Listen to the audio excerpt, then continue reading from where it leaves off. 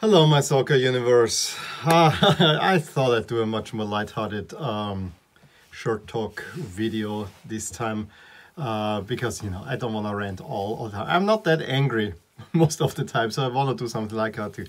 I want to talk about Jersey jinx. And it's not only how I jinx teams, but also in general. Maybe let's start with the, gen uh, the, the general before we go in there. I, because of the Jersey jinx, and it goes in there, I'm wearing Milan because they are one of those teams that really, really, really, really want that, um, you know, they believe they have a lucky jersey and an unlucky jersey. Um, and also, since it's the day of the Champions League final, I'm not wearing any of the final finalists because I want the better team to win, or the best team to win, you know. I don't want to influence it. Crazy, isn't it? We'll talk about that in a sec. But let's first talk about lucky jerseys and cursed jer uh, jerseys. And Chelsea is one is, is one of these. I'm actually happy that they stay now for the final, seemingly with the 2021 jersey it's not like not my favorite Chelsea jersey. In fact, I never really liked it there that much, um, and I'm not sure if I like the new one uh, as, as well. However, they played it with it twice, lost two finals with it: the Women's Champions League final rather emphatically against Barcelona, and now the um, and the FA Cup final, which yeah, I mean they let's put that, but the FA Cup was not the first priority. Um, as a statistician, a sample size of two uh, does not say anything that uh, this jersey is unlucky. Uh, but I have kind of in jest saying in my videos, yeah, they should really think about varying the one from 20 to 2021 and i cannot really remember that many teams uh, reverting back to their old look for the rest of the season except when they were forced in the champions league final like i think barcelona was in 2015 when they had already released the hooped jersey. And now uh, and then they had to uh, play in the pre-period which was good because this was a great jersey. Uh, but I told you the story before. So yeah, um, as I said, Milan is the prime example. They will, and actually I probably should have worn a white jersey, jersey but uh, I'll make an argument that is actually proper to wear it this way. Milan is trying everything to not play in red and black in a European final because uh, it is so funny to me.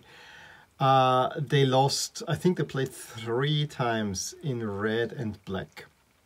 Uh, and they lost the one uh, in 58 against Real Madrid, which where Real Madrid was by far the better team, and they're the only team that actually got Real Madrid to an overtime. Then they won in 16 uh, in 69, varying uh, very si uh, similar to this one, and actually it is an homage to that uh, jersey. Just had a V-neck and not a crew neck. Um, the one against Ajax 4-1, their second most emphatic win. So, uh, you know, if you have thin stripes, please wear that one. And then uh, they lost, of course, a 93 one, Marco van Basten's last last game, one game that's it still hurts me a little bit because Milan was that season definitely the best team, but on that day Marseille was just uh, better, and Milan didn't have, uh, you know, maybe playing Van Basten was not the smartest, smartest idea. But it went then so far that when Milan was the home team in the 95 final, they went with white. Because you have won, uh, at that point, I think they have won every final in white. Um, this was the uh, the first one, the 63 one, then the 89, then the 90 final, and the 94 final. So they've won four four in white. They went four out of one. And then I said, okay, now with that, it is unscientific small sample size. Can we please put this to rest? No. Against Juventus, the next time they were in the final, of course they won it then. Uh, they again pulled out in white Georgia against the black and uh, black and white of Juventus, which was not the greatest jersey matchup ever. It was all very monochrome, but you know I think it just worked because Juventus was wearing wearing, wearing black shorts. Um, and then again, three years later against Liverpool, white. Okay, uh, we all uh, it made sense. I, was Liverpool even what whatever it was um, you lose in white so you know it doesn't matter what you wear. It really does not matter what you wear.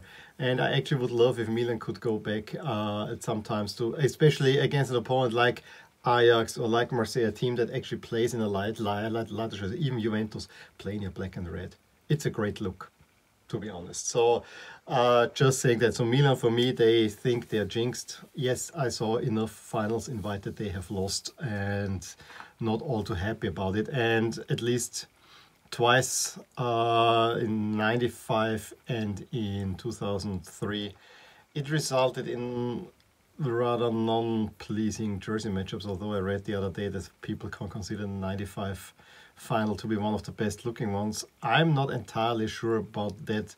I actually think if they were both played in their traditional looks, and I know this would have meant, Milan Pro in black pants, which is also a look I don't like, um, it would have looked better. It's just my feeling. Uh, you know, I, I, I love the those two, those two teams in their traditional looks playing again. I consider look great. Um, but hey, uh, it is what it is. I'm still not quite sold on those purplish Ajax shirts. So this is where teams, and Milan is a prime example. I mean, they even have an unlucky shirt, the black one, which uh, I think Galliani, when they beat Arsenal 4 0 in 2012 uh, in the Champions League, uh, they were then slated to play in black at Arsenal, and Galliani tried to do everything to not play in black because at that uh, time they had not won, I think, for two two seasons in a row in black jersey, and uh, he really wanted to avoid that. It's an unlucky jersey. No, Milan still, yes, wore uh, black and saw, saw, saw themselves, uh, yeah, confirmed being 3 0 down at halftime, which is still something, yeah, this only Milan can, can, can, can do to blow big leads and make it uncomfortable. At least the second half back there, uh, they played well. Um, speaking of uh, jersey jinx, there's a little bit also this in, in, in, there that the color of the jersey matters, where the study in English football um, resulted in that red jerseys win more often than others. Uh, there's a big confounding variable in there, namely that uh, the three of the very best teams in England play in red. Liverpool, United, or United, Liverpool, take a peek at Arsenal. This is so, so, so confounded. If, if you would try to transfer this with World Cup, I think there was only, uh, the red was worn three times in the World Cup final, to my knowledge. That was in 34, in 38, where they lost out to blue, and in 66, when England won in red. But I think ever since, whenever there was some uh, and, and I, don't, I don't think ever red nation has uh, made it since to the final. The one that did in Spain actually had to play in blue. And orange is closer to red, and that didn't work, work out, out for the Netherlands. This is absolute BS. You don't win because your shirt color is different. Yeah, Austria changed to red home jerseys because of that. Uh, and while I get it with the flag, I still don't like the. I, I still like my Austrian jerseys. White and black is just a better look. And now, with all this ridiculousness, with jinxing and whatever, and unlucky and lucky jersey, let's talk about my own jersey, jersey jinx, because I am guilty as charged. As you can tell, uh, from, I mean, the previous part, this is more me. Uh, this is more how I, th I think I'm. Uh, I think I'm a pretty rational person overall. I like to look at facts. I study statistics, so I mean I am a little bit in there. And from what I'm gonna tell you, I have no empirical data, I have only anecdotal data, and that's the problem. Uh, I know humans, if something goes wrong, this has a much bigger impression on yourself than if something goes 100 times right. It's just how we are wired. This is how you survive in the wild. There's one big mistake, you will remember that, that mistake, but you don't remember the many times you did it right in many ways. So, having said, said that, here are my two jersey jinxes.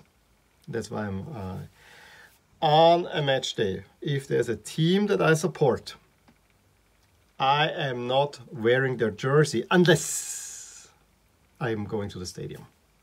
That's the only exception. It is stupid as can be. Uh, and I've been actually, and I've been avoiding this now for years Absolutely. I wear the jersey afterwards, which, uh, you know, if a team won or, or whatever, or a team that I like, which uh, always has a little bit of glory hunter thing behind it. Yes, maybe there's a tad, I, I, I don't deny it, but um, it's mostly because I want to wear that freaking jer uh, jersey, and so let's wear it in all its glory. I'm wearing the whole week more or less Milan, except, haha, Venezia is in Serie A. I've been wearing Friday Venezia all day long except for the preview video for the Champions League final. So yes. Have I been going wrong with that? Probably. Should I worry about it? No, I probably shouldn't. Have I tried it? Yes, I actually I tried it very recently even, um, for my daughter's uh, ninth birthday.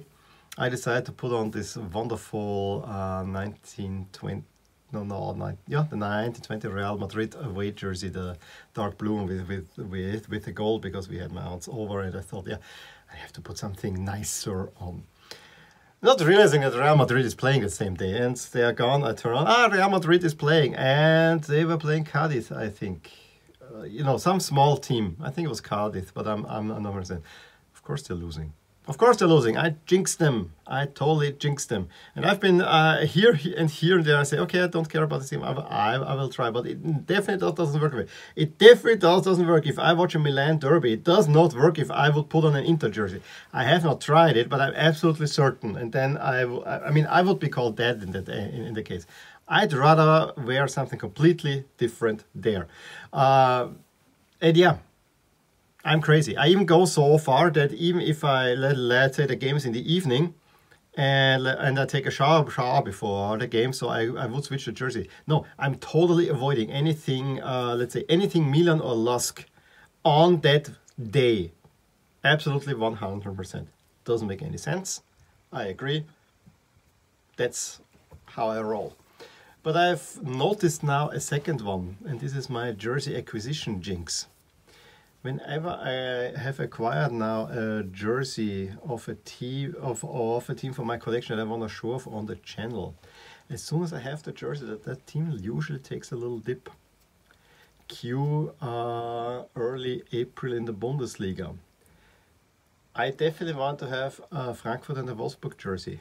As soon as I had them both bought, both teams took a nosedive.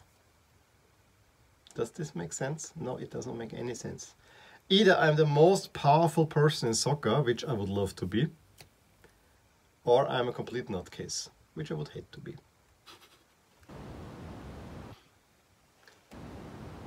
Are you superstitious? I, I really, I, I despise almost any superstition, but in these two cases, I am superstitious as it comes, and I have no idea why. But you know, you gotta have, you gotta be wacky when it comes to soccer. I'm wacky. I watch probably too much and I have probably too many jerseys and I probably think way too much about what I'm wearing and how I'm putting things, but you know, that is me. This is, if you like, my human part in the whole thing. So in any case, I would like to hear about your superstitions. Give me a thumbs up if you enjoyed this video. Subscribe to my channel if you wanna see more and I will talk to you soon. Bye. Hey there, I really hope you enjoyed this video and if you did, here are some videos and playlists that you might enjoy too.